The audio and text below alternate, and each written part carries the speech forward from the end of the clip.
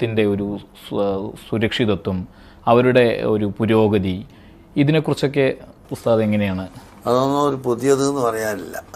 നമുക്കതേ അന്നുള്ള നയം ഇപ്പോഴും നയമാണ്. നമ്മുടെ നയം നമ്മുടെ അക്കീത പണയം വെക്കാതെ ആശയം പണയം വെക്കാതെ അതിൽ ഉറച്ചു നിന്നുകൊണ്ട്